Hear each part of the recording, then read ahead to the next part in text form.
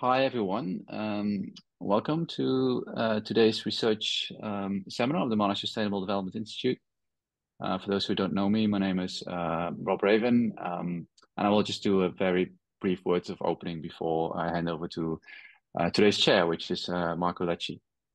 So first, I would like to acknowledge the traditional owners of the land from where I'm speaking, uh, the Bunurong people of the Kulin Nation, and pay my respect to the elders past and present. And um, yeah, it's really great that um, I don't have to do too much work today. Um, so Marco, uh, who is a, a, regular, who joins us regularly in these seminars, he's actually based at uh, uh, the Business and Economics Department at Monash, approached me and um, uh, said, "I've got a great speaker that I would like to um, have in this seminar series," and um, I agree. so we have a great speaker today. And so it's also, uh, I think, a great example of something that we hope to accomplish with this seminar series, that it really is a, a platform for having interdisciplinary conversations around some of the grand challenges uh, that we are facing. Um, so it's really great to be able to open that up also to um, uh, people coming from the wider Monash environment to uh, host speakers. So with that, I'm happy to hand over to Marco uh, for chairing today's uh, seminar. Thanks, Rob. Um, and thanks, Alessio. Uh, I had the luck to meet Alessio in Prato, actually. He came to give a guest talk um, to one of my units that I'm teaching in Prato, European economy. Um, and he's an economist. I'll, I'll, give the brief introduction. He's an economist at the uh, Director General for Economic and Financial Affairs. the is the Commission department uh, responsible for the European Union policy promoting economic growth. Uh, he's also adjunct professor of Sciences Po uh, and HEC Paris, and he's the author of the Growth for Good, published by Harvard University Press. I still can see the book there. I had the pleasure to interview him also for my podcast for my students on economic growth, and I highly also recommend the book. Uh, it's a very fresh take on economic growth and sustainability. Um, he will present today his new um, research, Green Industrial Policy, the necessary evil to avoid a climate uh, catastrophe. So Alessio, uh, we have roughly, if we can keep five ten minutes for the Q&A at the end, uh, you know, uh, the floor is yours. Thank you. Thank you. Let me see if I can share my slides. You tell me if you can see them all right.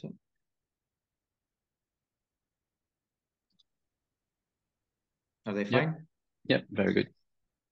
All right, thanks a lot for the for the invitation, for the introduction, uh, Rob and and Marco. the fact that uh, me and Marco running it makes me feel uh, a bit like I'm in Italy. It's an Italian uh, seminar. Um, but yeah, as we were saying, I'm based uh, I'm based in Brussels now, uh, and uh, I'm gonna talk to you about when when Mark approached me. Uh, we were talking, of course, my my overall uh, field of expertise and interest is the intersection of the economy, economic growth, and climate change, and so basically how to reconcile the two, or more broadly, how to reconcile the economy and nature, loosely speaking.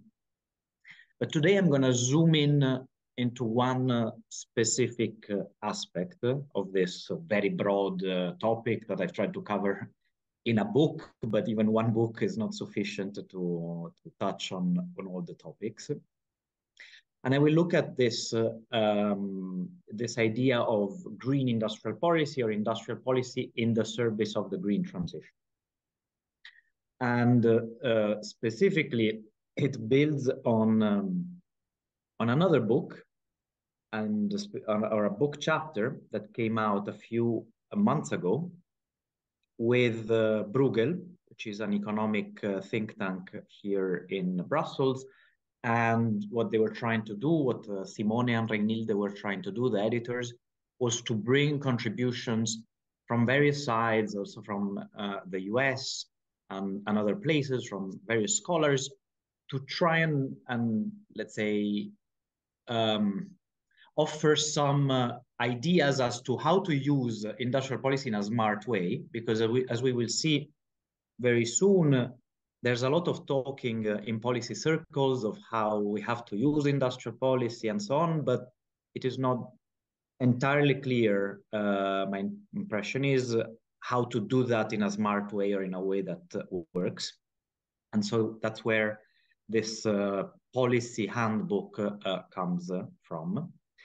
And in that book, I specifically, uh, the, the, the, talk of today is uh, the book chapter, but in a way that it, I will touch upon also another article, uh, journal article that came out again a few months ago that I wrote with a few colleagues, co-authors, um, again on industrial policy. In that case, uh, not only green industrial policy, but broadly speaking, industrial policy uh, and how to do it in a good way, in a smart way.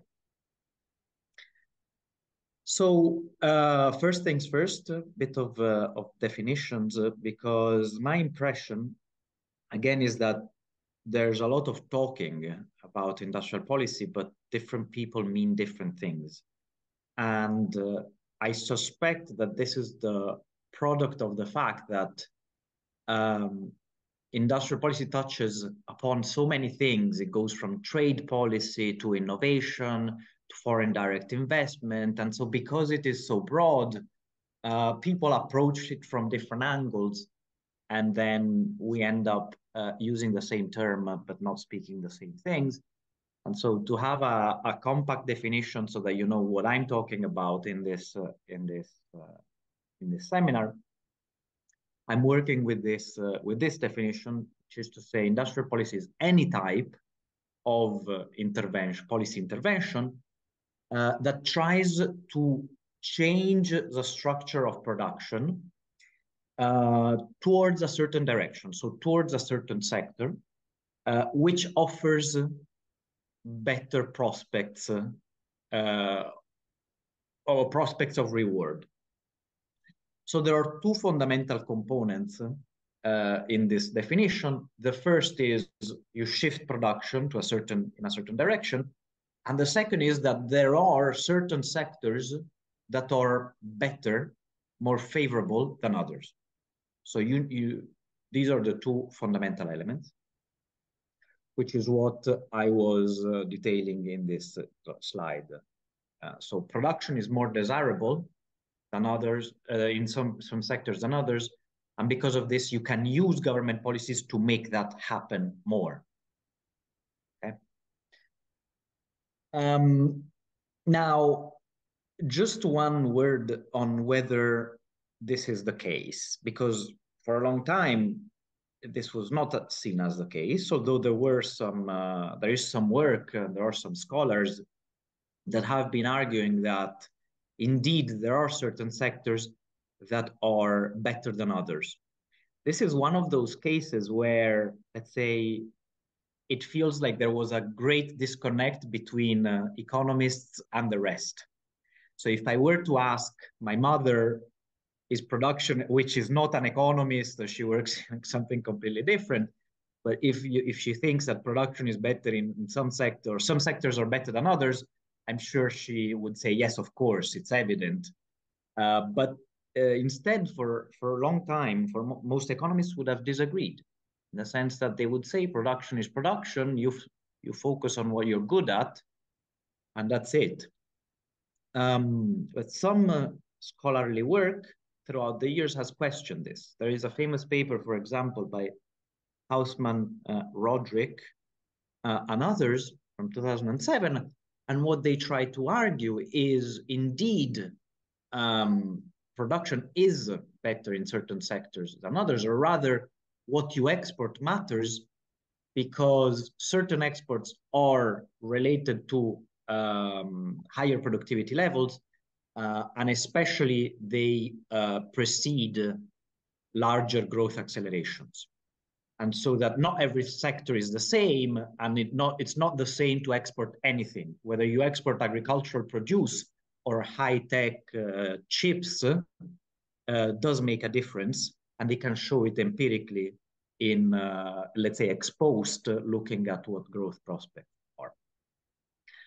Um, it, so this is one type of literature. There is more of a um, say, management or McKinsey Global Institute type of uh, analysis, and you have you know you have these reports that say i don't know the the future is ai the future is uh, biotech the future is automation or whatnot. And they try to give you projections of how great growth is going to be in certain sectors. So effectively in the back of their minds they are making this bet that growth in certain sectors is going to be stronger and therefore to a certain extent uh, you want to be latched on to those uh, to producing those things because you know or you can expect that growth will be uh, strong.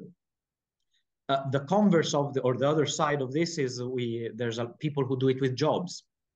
So you can say you know automation will uh, cancel out lots of call center jobs and so if you look at the world this way uh, if you are specialized in call centers that ain't great and if instead you're specialized in manufacturing robots, that is good. And so again, this sort of provides ammo for uh, the definition of, of industrial policy we've used and, and the, desire to use. Um, and then more recently, there is a third consideration, which is uh, less economic and more uh, political or related to national security and foreign policy, which is to say leadership in certain sectors, certain sectors are particularly, or, or so-called dual technologies. And so it means that they are civilian sectors, but they have implications for, for the military as well. And so that if you have strong, uh, a strong uh, command of AI, of uh, 5G, of quantum computing and whatnot. Okay, these things are good for production, but they also have military implications. And so to a certain extent, you want to have leadership in those sectors or produce things yourself in those sectors because it is related to your uh, military capacity. And so these are some of the arguments that would be used to argue to, to claim that indeed production in certain sectors is better. Now, I was telling you that for a long time, economists would have disagreed. And the reason they would have disagreed is, um, is that to a certain extent, uh, or let me say first, first one thing. Uh, so economists would have disagreed. So had we had this conversation uh, five years ago, um, most Marco would have already stopped me probably by now, telling me what are you talking about? Industrial policy is bad. We have plenty of evidence that shows that this is bad, and and so on. Um, it is worth mentioning uh, briefly, and it is the topic of the second paper I, I showed you at the beginning, that all countries always effectively have engaged in some form of industrial policy, whether it is the US, whether it is China, even though they have completely different uh, economic models, South Korea, Japan, Taiwan, France, Germany, the UK. So even countries that would have claimed uh, that they weren't doing industrial policy and industrial policy was bad, were doing some of it. it. Of course, the extent matters. So some were doing little and others were using it uh, uh, to a strong degree, but all countries engage uh, in it. And as a matter of fact, the joke goes uh, that uh, the, the most successful industrial policy in the US has been to persuade others that the US doesn't do industrial policy, to a certain extent. Um, but uh, it is a fact that we are going through a resurgence in the use of this tool. And uh, you can, uh, there, I'm taking this from a from a recent paper came out like a month ago by uh, Réka Juhász, uh, Lane, and Rodrik, and and they show a time trend, and you can see that it is that industrial policy is increasing in its use, and and the the other way of looking at it is uh, from uh, this uh, this chart, which I mean comes from the Financial Times, but it is built on IMF data, and they look at the presence of um, terms like reshoring, uh, nearshoring, and so on in uh, uh, com company reports. And again, you see that the concerns of this sort, and so that you have to bring production of certain things closer to home, and, and so that place of production matters, is uh, is uh, is coming back and and forcefully so.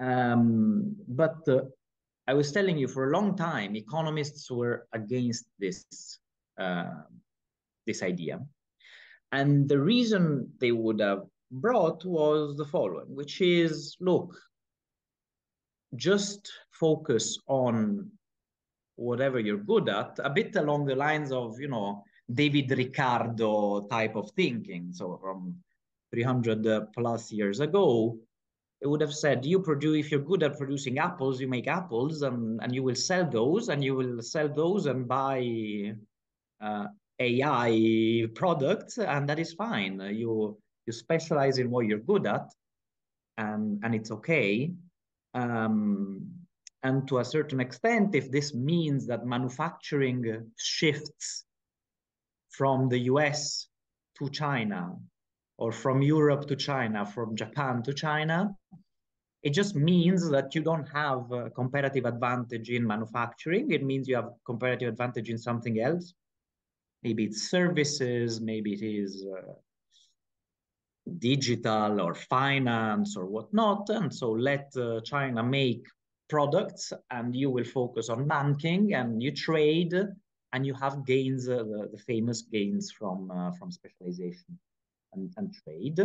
And of course, in order to do that, you need to preserve a rule-based open trade world order. And so the, for, for this type of reasoning to work, you need uh, some set of standardized rules uh, where also the others agree that they are not gonna uh, use forceful industrial policy. And so we all uh, sort of let comparative advantages materialize and we try to remove barriers to trade so that you can specialize in financial services, I specialize in manufacturing, we trade and we experience all these uh, benefits. So this was, let's say, the consensus among mainstream or the majority of mainstream economists for a very long time. Um, this consensus has broken down. And uh, I was uh, I was mentioning industrial policy was for for a long time it was considered as a, as a bad word, and the the the IMF or two authors at the IMF were sort of joking about this thing because industrial policy was the policy that shall not be named, and so it was uh, it was seen as uh, as anathema for for a long time, and now we are experiencing the return of the policy that shall not be named which is the title of this paper from 2019. And, uh, and there are many reasons for that. And so I'm, I'm listing a few here.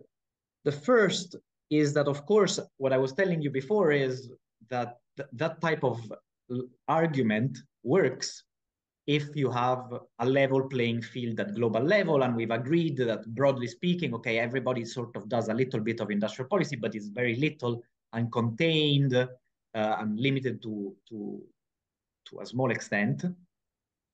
But of course, you had the example of China, which is not a small country, which entered the WTO. And for a long time, the presumption was, okay, it's true, they're using uh, strongly industrial policy and, and government tools to push, let's say, for manufacturing strength and in certain sectors in particular and so on. But it's fine because eventually they will converge to our model. And so progressively, as they develop, they will slow down uh, their use of, of, of industrial policy, which obviously we have not seen. And so, uh, so there's that. And there is the fact that, of course, um, China, China's growth has been uh, incredible by global standards, by historical standards.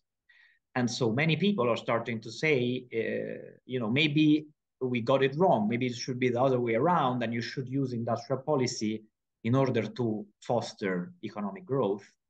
Um, and, and the counter argument is sort of losing steam given the success that China has been in reaching this goal. The second fundamental shock has been COVID, because COVID 19 uh, was a time when you realized that you needed uh, certain things, production of certain things, and that governments in many countries used their powers. Uh, in the US, they even uh, had to uh, resort to the Defense Act, I think it was called, where the president can effectively force companies to produce certain things. So this is like the strongest extent of, uh, of pushing production in, uh, in a certain direction. Because you needed certain things, whether it was face masks, whether it was yeah, personal protective equipment more broadly. At some point, it was vaccines and ramping up vaccine production with the warp speed, I think it was called uh, uh the operation in the US to, to scale up uh, vaccine production. And so we have seen a lot of use of uh, these tools to foster production in this and that during COVID. And so again, this this mantra that you cannot do it uh, has sort of fallen uh, under the weight of the of the pandemic period, and so by now it uh, it has sort of been normalized. Another aspect related to COVID is that when COVID hit, um, global supply chains for a brief period of time were interrupted.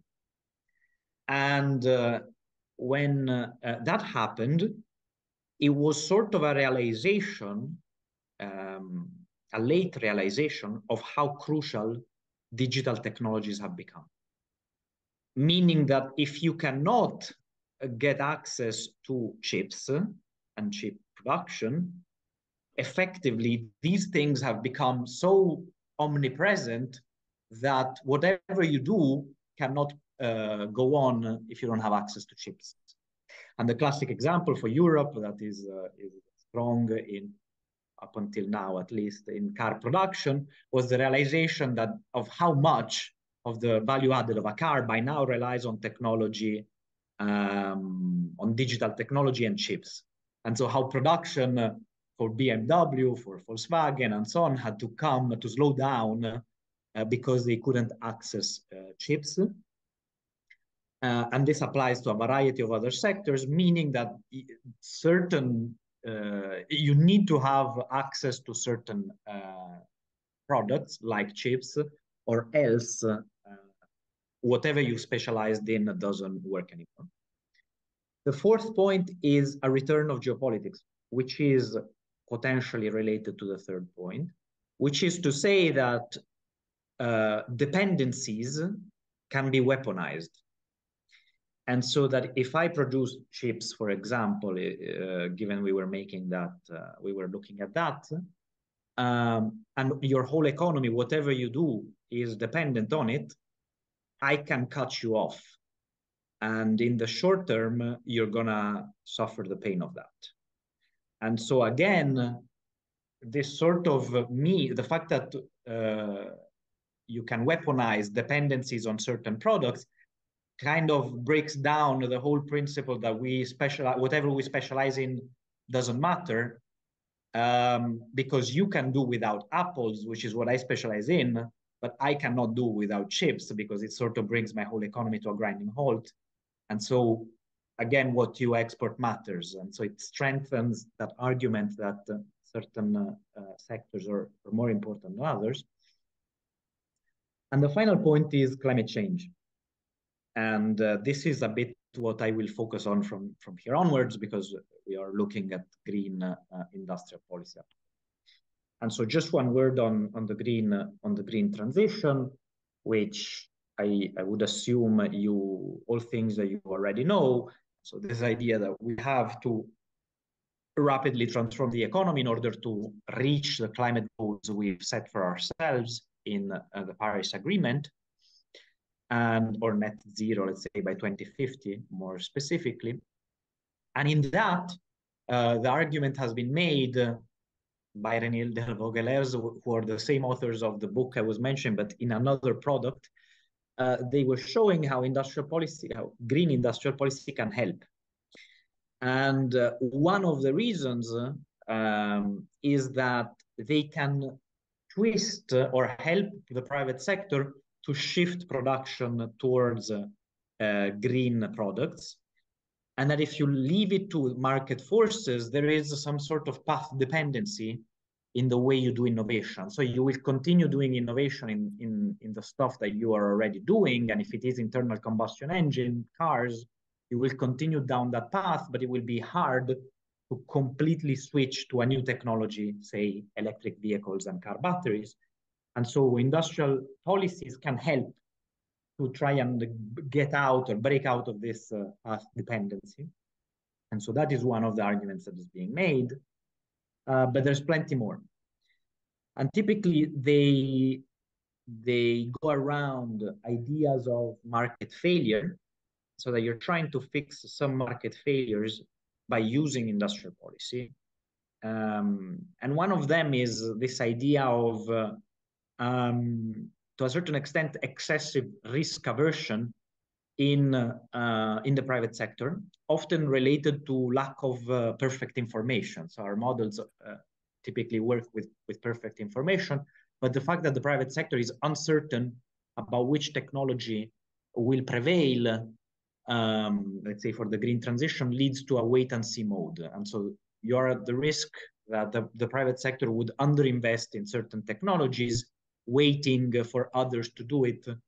Uh, and this leads to a negative uh, underinvestment equilibrium. And so you can use industrial policy to push uh, as a government uh, in favor of certain key technologies. The second relate and is related is the idea that we know that many of these uh, green technologies that we will need are far from uh, a point of being marketed. And so if it is green aviation, let's say, we know that uh, it will be very hard to see uh, planes uh, using uh, hyd green hydrogen or uh, electric batteries uh, for, let's say, 10 years next 10 years at least. And so, again, the risk is that because some of these technologies are far from marketable, um, the private sector is at risk of underinvesting in the sense that it's hard, the, the, the planning horizon is relatively short, or there is a strong discount factor, and the risk is that there is underinvestment. And so, again, uh, industrial policy can help in that. And then there is a political economy um, element, which I think is important, which is for a long time, economists would just argue, you know, you need to introduce carbon pricing because if you introduce carbon pricing, you set incentives straight, and uh, then firms have uh, yeah have a strong incentive to invest in green technologies and so on, which is all true. But the problem is that from a political perspective, it could very well be that carbon prices are not feasible. And this is something, for example, that we're seeing in the United States, which is uh, has been trying to introduce carbon prices uh, at the federal level for now some 20, a bit less than 20 years, and has always failed. Um, uh, or alternatively, as it is the case in Europe, we have carbon pricing, so we have the, the longest, uh, longest standing uh, uh, emission trading scheme in the world, to my knowledge, so more than or around 20 years. But of course, it's not only a matter of having a carbon price, but the level. And it is very possible that for us to reach the level that we need is politically unfeasible. And so if you factor in politics, um, and you cannot achieve uh, the green transition through carbon pricing or carbon pricing only, industrial policy can complement it. And to a certain extent, this is what uh, the Biden administration is doing or betting on. So they're saying, look, we've banged our head against this idea of carbon pricing for 20 years. It does not work. Let's try going down another route and so we do a lot of industrial policy through the Inflation Reduction Act, and we invest in green technologies. And so we're going to do the green transition in this way rather than uh, with carbon pricing. Um, And, uh, and there are papers, uh, and I'm mentioning this by Acemoglu and others, that show that the two go, can go hand in hand. And actually that if you do it uh, in uh, well, you can achieve a better, a faster transition by combining industrial policy with carbon pricing. So it's not necessarily that the two are at odds. You can do both, and it can even be an optimal uh, strategy. There is then uh, um, a competitive argument. So again, we are we're moving uh, closer to an integrate to geoeconomics or to an integration of economic considerations with uh, geopolitical considerations, and that is to say that there is one way of framing the green transition, which is something I've been doing as well, or along the lines of something that will resemble an industrial revolution in the fact that we have to reinvent the whole of production and, and consumption because we're trying to reach this net, net zero targets. Um, and effectively, if you, like with past industrial revolutions, it is uh, of crucial importance uh, to try and pioneer certain key technologies. And uh, if you establish yourself as a as a, an, a first starter, an early mover, and you lock in an advantage in some of the technologies that will become central to the new green economy, you're set to experience huge economic rewards, often reverberating through path dependency for decades. And so if you look at it this way, then uh, because we are at this shifting point in, in the economic structure, it is you have a very strong competitive interest in trying to use all the policy tools you have, trade, investment, and so on, to try and make sure that your firms or firms located within your nation are the ones that uh, end up being, uh, you know, the leaders in solar panels or the leaders in uh, battery storage, because then you, you know that effectively these technologies will become central to, uh, to the green economy. And if you generate scale uh, that is large enough and exper expertise that is strong enough, uh, it could very well be that you're shutting out the others and so that you become the, the powerhouse of uh, the new green economy. Um, now, this argument I've just made, so the competitive argument in favor of industrial policy, in an ideal world uh, would not exist. So when we model how to do the green transition at the global level, and we have the benevolent dictator, uh, as we do in economics, uh, to look at the optimal equilibrium, you wouldn't uh, necessarily make this argument and or you wouldn't necessarily care because all the spillovers negative positive and so on would be factored in. Um, and this is another way of saying that if geopolitics weren't a factor uh, and we were to do the green transition through a world government then this competitive argument wouldn't hold. But the problem is that as uh, as economists also like to say, uh, we live in a second best world at best. And so we will have to deal with uh, a green transition that happens in the environment we're in. And uh, as uh, unfortunate as this might be from an optimality point of view, we are not converging towards an, uh, let's say, a world government situation. And even on a smaller scale, let's say the Paris Agreement remains built on voluntary uh, national contributions uh, in, in terms of green uh, transition strategies, and we're not moving away from that. So we're not about to create a ministry ministry for the future, as the book, uh, famous book, was titled uh, from a year ago.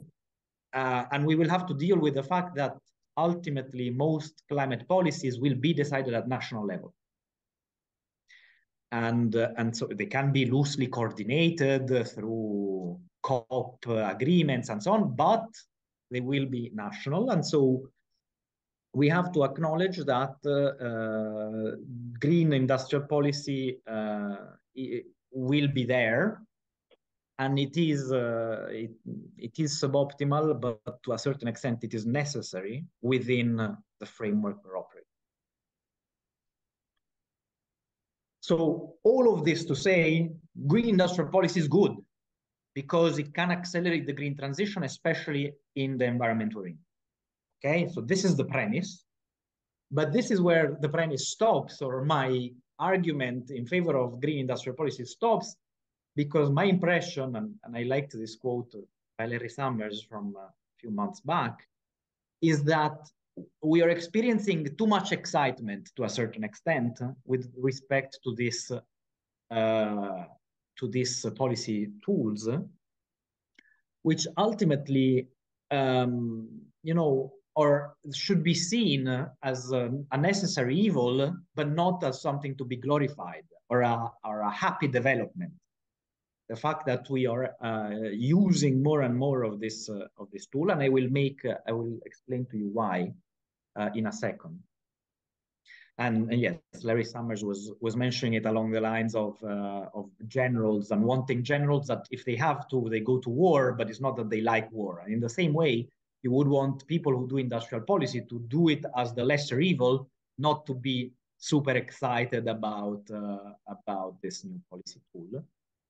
And, and instead, the way I'm framing it and the title of this session uh, hints at it, is that we are making a pact with the devil or, or a Faustian bargain in, uh, in engaging uh, in uh, industrial policy, which again, I underline, is something that will help achieve a faster green transition in the environment we're in, uh, but will come with significant downsides.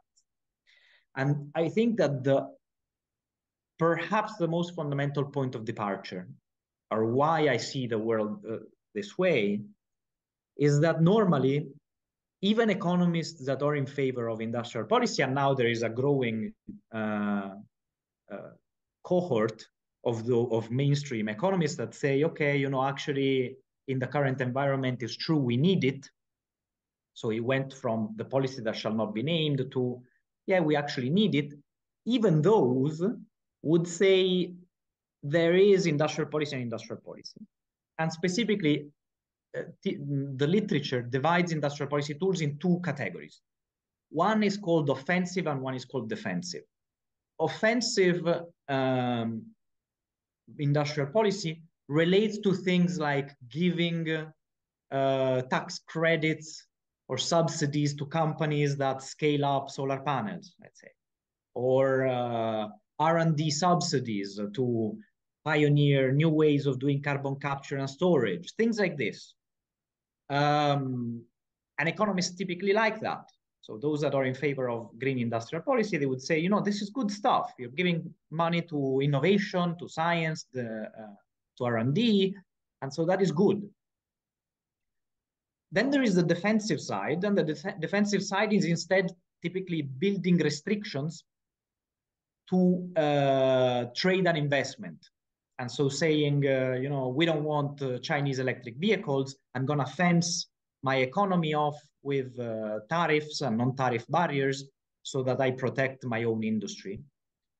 Uh, things like this, or, or FDI. I, I, I think that, I don't know, Moderna is a crucial company for the United States, and therefore I forbid other nations' uh, companies from taking it over because I want that technology and know how to stay in the United States. I'm making this up, but to give you a, a flavor. And so normally economists uh, look at this division and they say the first part is good, the offensive part is good, and the defensive part is bad. And so we should focus on the good part and do industrial policy only on the offensive side. And the second, the defensive side is protectionism, and protectionism is bad. And this is something that, for example, my friends at Bruegel, the think tank, were saying. Um, and I was telling you that this is where we depart because I look at it from a political economy perspective. And my argument is the following, which is if you do small potato industrial policy, you can do that. So when uh, 10 years ago, the US was doing industrial policy, but just you know doing a bit of uh, uh, research and innovation uh, using uh, government institutions like DARPA or ARPA-E, which is the DARPA for energy, or things like this. You're doing it on a small scale. It doesn't matter. You're using industrial policy, but nobody cares, let's say, uh, at, at a macro level and at a global level. When you start doing it uh, in the realm of hundreds of billions, which is what we're talking about when we're looking, for example, at the inflation the offensive side lays the seed of the defensive side. Because from a political economy perspective, you can imagine that Joe Biden going to Congress and saying, I want, uh, I'm appropriating uh, hundreds of billions because I want to invest in green technologies. Um, and if it happens that I'm giving this money to Chinese companies that are investing in the green transition or European companies are investing in the green transition, it's fine. Chances are that Congress is going to be like, no, look, this money has to stay here and we wanted to create jobs here and to create know-how here and so on. And so to a certain extent, um, it was to be expected that uh, when you when you increase the scale, um, politics intrudes, and uh, and it, it sort of uh, forces the, the two sides to go hand in hand.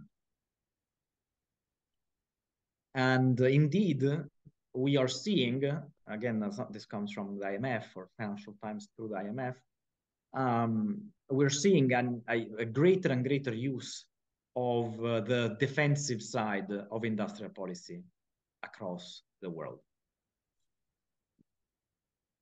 Now, what is interesting is that uh, some people are welcoming this because what they say is, you know, yes, as a result of industrial policy, um, we are generating a subsidy race, but while normally a subsidy race is bad because it's wasteful spending and so on from a narrow economic perspective, for the green transition, that is good.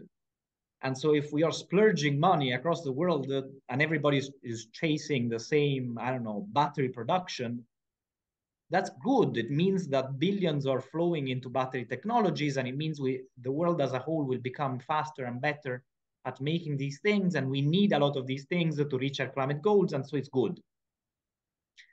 Um, and so this is one Martin uh, Sandbu specifically on the Financial Times. The other Martin Wolf on the Financial Times is instead uh, taking the more standard pro economic approach, and so saying, look, of course, again, compared to an optimal global solution, a global government solution, let's say, or benevolent dictator uh, optimality condition, this is bad because we're, you know, every country is chasing the same technology. And so instead of, of saying the US uh, has a strength in uh, carbon capture and storage, so they do that.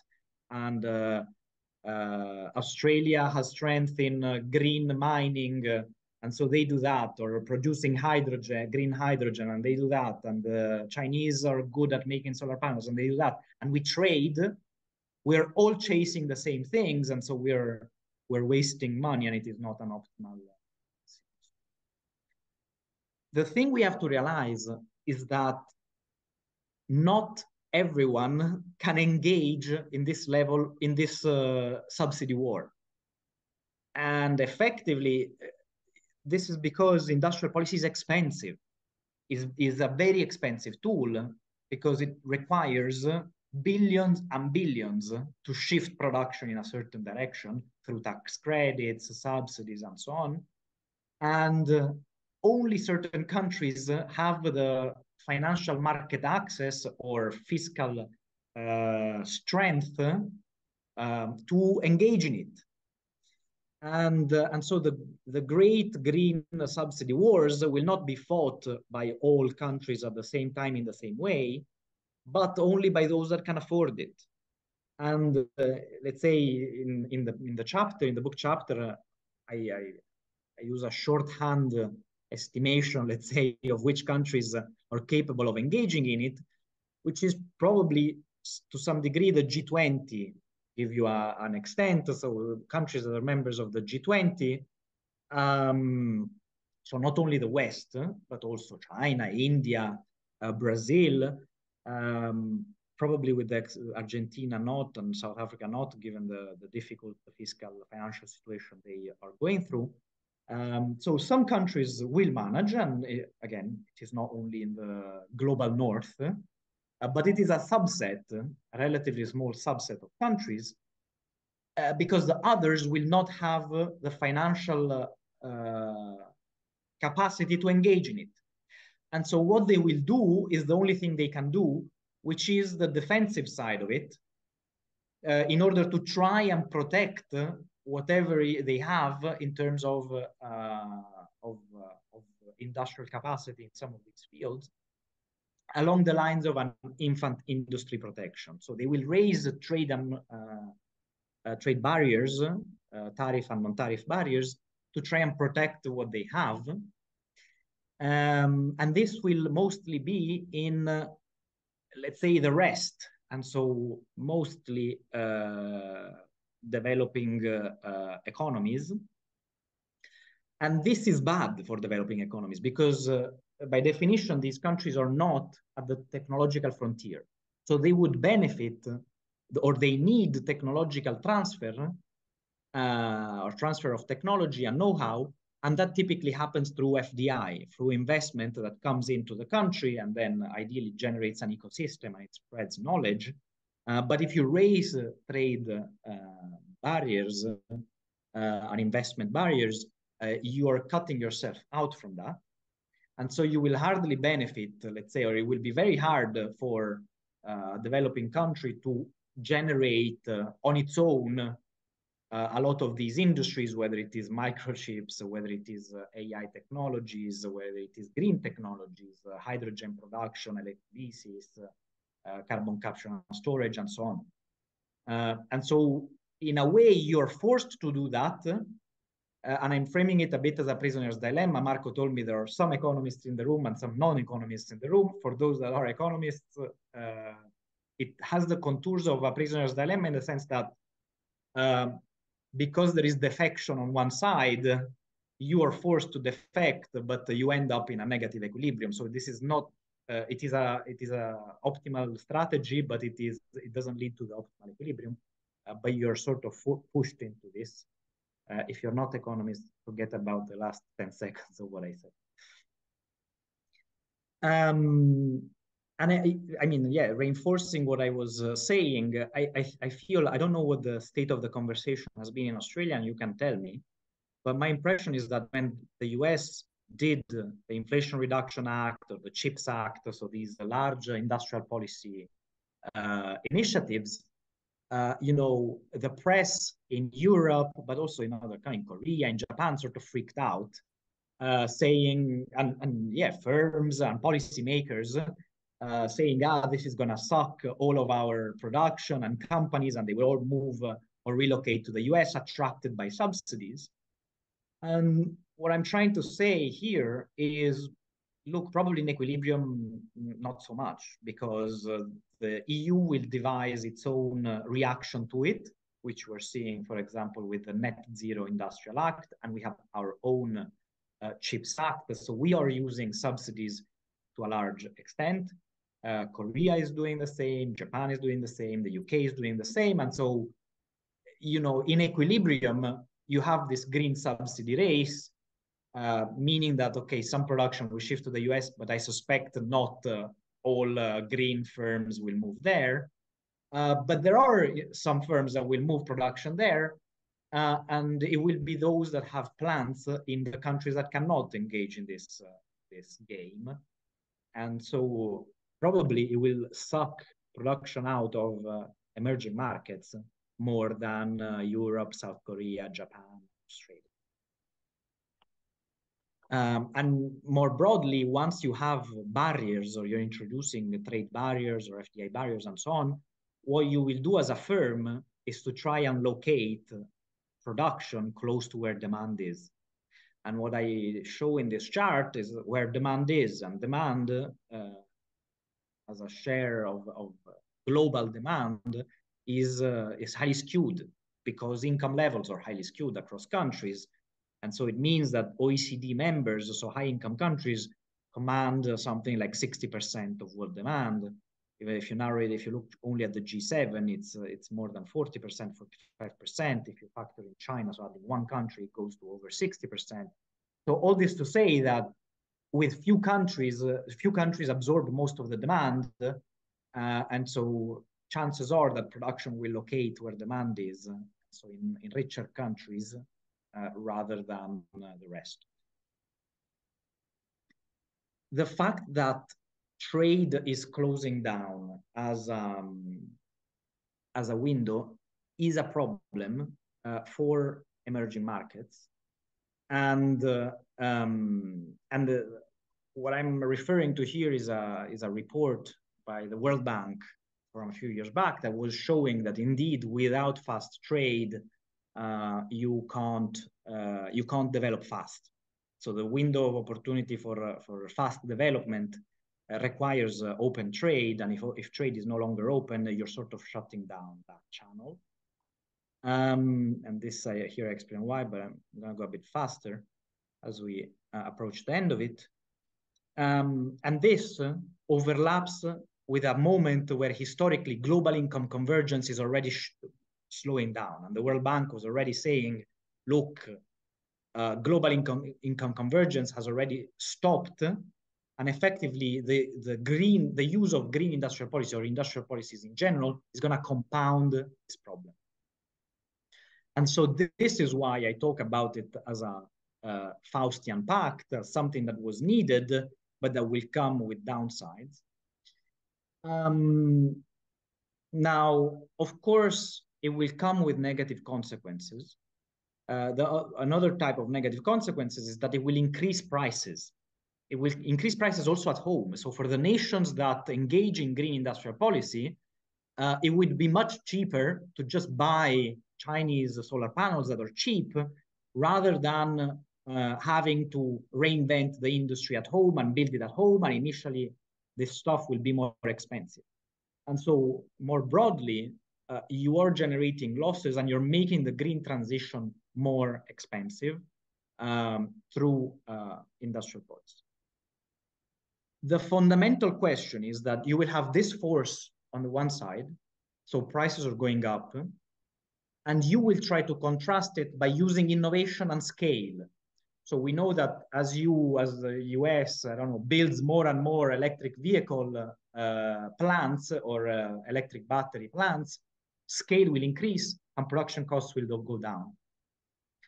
But the fundamental question is uh, so you have these forces sort of contrasting.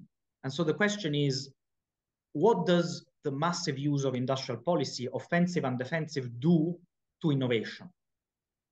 And I think this is the most crucial question of all. Um, and it could go both ways because on the one side, you are, uh, I, I, told you, you're, you're sort of shutting down uh, relations with some countries, some that have knowledge, know-how, or scientific uh, have made scientific advancements in certain technologies. So you're shutting that out. So that is bad for, for innovation. On the other side, you could make the, the claim or the argument that national security pushes or what has fostered innovation in many instances. Um, and so this is a bit where the a fundamental question that I would invite you to uh, consider. And if you want, I can already I can stop here, Marco, if we're approaching the end. Uh, yeah, we're we're five four minutes uh, to the end. Uh, if we can um, just get some questions. Is there any question um, from the audience? Otherwise, I have one. Um, I will start then. Um, so it's a political game at the end of the day. Um, it's you know protectionism by any standard is not good for the economy and for economic growth and this has been proven in the past. But how do you solve the political battle? I, don't think it's a problem of you know the economy or leaving the market behave like the market is the problem of yeah like essentially pr protect the market from the political decision i guess it's a twisted game you know Yes, um, and I don't think we will, in the sense that for a long time, my impression also studying economics and growing up uh, still uh, in the remnants of a previous era, uh, economics has all been about fencing itself out from politics. And so, as much as possible, uh, looking for the optimal solution, irrespective of geopolitical consideration, military consideration, national security considerations, and so on. Increasingly, it is becoming very hard to do economics without looking at uh, national security. I am told, I have not lived that era, and I suspect the people in this chat uh, or uh, seminar are too young to, to remember that era as well.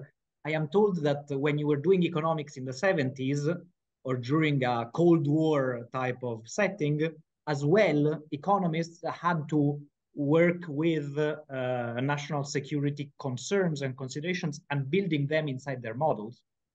Uh, whereas we have had the benefit up until now of, of sort of separating the two. Increasingly, I suspect we, we will not be able to separate the two, and so that it is a bit wishful thinking to try and fence ourselves out of this. Um, we have another question from Rob. Um, I don't know if you want to read it. Do you want me to read it, Rob? Do you want to? Uh, well, I have just quickly posed it. Thanks, Alessio. Great talk. I was I was interested in um, all the arguments around industrial policy, which seems to be mostly focused on supporting new industries of the future. If there is talk around policies uh, deliberately seeking decline of unsustainable industries. Yes. So in that paper, I was uh, I was mentioning uh, that I wrote with uh, with a few colleagues. Uh, um, was published on Science and Public Policy. We look exactly at this. So we try to say, look, there is a resurgence of industrial policy. Let's try to learn uh, from the past and from experience that different countries have had throughout the world, given all uh, have engaged in industrial policy at different moments in time. What can we learn? Is there a good way of doing industrial policy and a bad way? And definitely there is a good and a bad way. And you're sort of hinting at one of the points we, we raise in our compendium of to-dos. Um, and it is uh, keep uh, the focus on the future to a certain extent. So remain focused on why you're doing it, uh, even if it's national security concerns, it's supply chain concerns or whatnot, but keep that in mind. And typically that means focusing on future industries and technologies, whereas often again, for political economy reasons, you're at risk of identifying national champions, let's say, uh, with firms that are big right now, but perhaps that represent a paradigm and production that is uh, um, that is inevitably on the decline. And if you're planning to use industrial policy to lean against the wind of change, you're gonna lose. No matter how many billions you you end up pledging, you will not keep uh, horse carriages alive vis-a-vis the car by simply uh, flushing the industry with money. So you, you must realize that trend and accompany the transition, but you cannot try to, to keep old industries alive. Um, we're running out of time. I don't know if people and Alessio still time. I've got like a bunch of questions here. Uh, Alessio, do you still have like five, ten minutes to answer yeah. this one? Uh, those of you that want to stay and listen to the answer, otherwise, thank you so much for attending. I know we're running out of the uh, hour. Um, from Amy, uh, how do you see these factors dynamics may change when climate risks are high enough to justify strong uh, collective action? It's a very good. Uh, it's a very good question.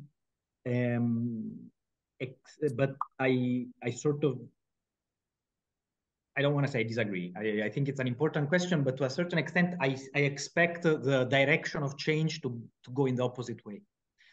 In the sense that as climate change will materialize, it will not materialize, you know, we, we frame it as uh, a global problem, which it is because the atmosphere is changing and that is uh, our global atmosphere.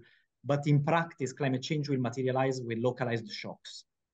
And some countries will be hit earlier than others, and uh, and this is due in part to geography, in part to income levels, and and therefore access to technologies to try and defend yourself as much as possible uh, from uh, from the negative consequences of climate change and to adapt to climate change. Uh, as this happens, uh, because also uh, many of the countries that will be hit first and most, or those that contributed the least to the problem, I suspect that tensions between countries, especially rich, richer countries and poorer countries, will increase. It will not decrease. And, and to a certain extent, we're already seeing that. So the last COP was already saved in the 11th hour, and there was a block, uh, let's say a, a, north versus south uh, block. Um, and uh, and I suspect that this is uh, this is a bit the, the direction that we're moving in uh, which is unfortunate. Again, I'm not celebrating it, but uh, I, am not seeing the, the ultimate treaty solution or global government solution to climate change uh, uh anytime in the. Um, I'll take the last two. I'll try to combine it. Um, so I'll let everyone go. Um, so from Dekin, uh, so making this transition more expensive, is it taking us closer or farther away from the green economy? The way we know it, or this is just like a geopolitical thing that we have economics with a green tag? Uh, how do you categorize and view the uh, effectiveness of defensive policy, such as like carbon, uh, carbon border adjustment uh, and joint tariffs to discourage uh, unsustainable practices? I don't know if you want to try and combine the answer here for both. I know it's a lot to take. Um, I, I, guess everyone here will probably talk for another half an hour and discuss like what's what's uh what's outside of Australia, and you know what's the take. Um. So the second question was on CBAM. The first one was on. Um, um like making these green. If we make ah, the, the fact that you're making the green transition more expensive. Yes. So uh, that is a bit the battle of the Martins uh, that I was telling you about before um, and it is part of the discussion we're having in Europe right now because, um, you know, it would be cheap. We, we constantly say that uh, the green transition is expensive or that it will require loads of investments in the hundreds of billions and whatnot. And then we take measures that effectively are increasing that price tag. But at the same time, you have uh, um, you have an opposition to a political opposition to the green transition that go I'm, I'm simplifying it but goes again, along the lines of the green transition is in the service of china and it will lead to deindustrialization in europe. And so we will lose jobs and we will end up driving only uh, chinese cars simplified for for the sake of time. Um, and so i suspect that uh, you know, to a certain extent, if we are to retain political uh, approval of uh, the green transition, we need to make an economic success out of it. And, and that, to a certain extent, will require some degree of this industrial policy. And so it might come with a higher price tag, but a price that is probably necessary uh, to pay. Again, this is suboptimal to the ideal equilibrium but I suspect the alternative equilibrium is even worse, uh, which is one where the politics becomes uh, super toxic and will just impede the green transition uh, altogether. And on CBAM uh, is uh, so the carbon border adjustment tax. Uh, what can I say? I am not because I work at the European Commission, but I've been I've been writing positively about it in the fact that it's an effort to try and spread the green transition uh, to other countries, to countries that are uh, less ambitious than than the current European effort, uh, and that is the is the setting in which it is being done. Um, and we are seeing some signs of that. So we're seeing some countries that, because of CBAM, are starting to think through what can they do to try and reduce the carbon content of some of their industries. Uh, I'm told, including in uh, Southeast Asia, so countries like Vietnam, are starting to look at ways to decarbonize uh, because of CBAM. A point that I did not make, but it's great that this question allows me to make, and it was at the end of the conversation of the presentation, was to say, look, through these measures, through these defensive and offensive uh, industrial policy tools, you are messing up emerging markets or less developed economies. And so if on the one side you are doing that, you should take active measures to try and help them out. At the very least, the countries that you see as uh, allies, close minded, strategic, uh, you name it, uh, but you should help them in the decarbonization process or help them to uh, to reduce the negative effects of this of this of these tools that you're taking at home um, because uh, because you want them to go hand in hand and because you want to keep the, let's say these alliances so even if you look at it from a geopolitical or international political economy uh, perspective uh, and so yeah you should uh, you should help them out Thank you so much, Alessio. I think we can close here. Uh, that was very, very interesting. Super, super amazing presentation. Uh, thank you so much. Uh, I know it's morning for you, so probably you have the day ahead. Long day ahead. well, we're done here, so most of us probably go home after this. Well, thank you so much to everyone that attended the session, and thanks, Rob, for setting this up. Um, I don't know. The, the, I'll see you at the next one, I guess. Thank you, Marco. Thank you, Alessio, for a great talk. Thanks everyone for joining. Thank you. Goodbye.